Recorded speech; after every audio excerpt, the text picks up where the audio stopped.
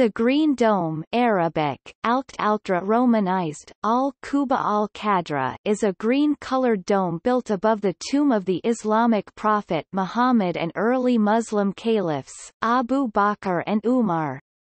The dome is located in the southeast corner of Al-Masjid al-Nabawi Mosque of the Prophet in Medina. The structure dates back to 1279 CE, when an unpainted wooden cupola was built over the tomb. It was later rebuilt and painted using different colors twice in the late 15th century and once in 1817. The dome was first painted green in 1837, and hence became known as the Green Dome.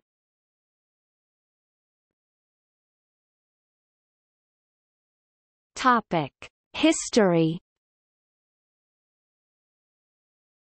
Built in 1279 CE or 678 AH during the reign of Mamluk Sultan al-Mansur Qalawun, the original structure was made out of wood and was colorless, painted white and blue in later restorations.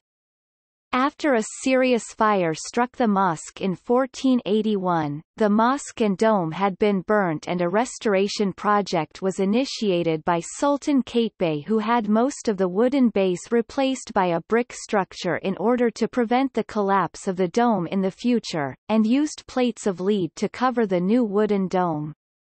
The building, including the Tomb of the Prophet, was extensively renewed through Qaitbay's patronage. The current dome was added in 1818 by the Ottoman Sultan Mahmud II. The dome was first painted green in 1837, when Saud bin Abdulaziz took Medina in 1805. His followers, the Wahhabis, demolished nearly every tomb dome in Medina based on their belief that the veneration of tombs and places claimed to possess supernatural powers is an offense against Tawhid.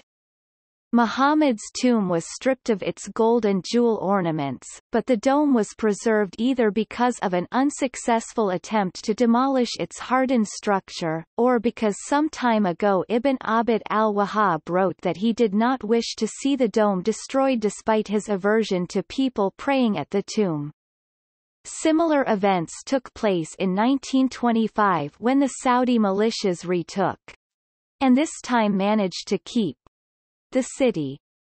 In 2007, according to The Independent, a pamphlet endorsed by the Grand Mufti of Saudi Arabia and published by the Saudi Ministry of Islamic Affairs stated that the Green Dome shall be demolished and the three graves flattened in the Prophet's Masjid.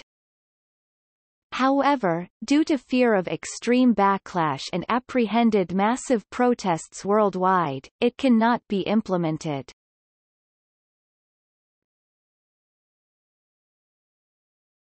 Topic. Tomb of Muhammad Muhammad's grave lies within the confines of what used to be his and his wife Aisha's house, the Hujra. During his lifetime it adjoined the mosque. The mosque was expanded during the reign of Caliph al-Walid I to include his tomb.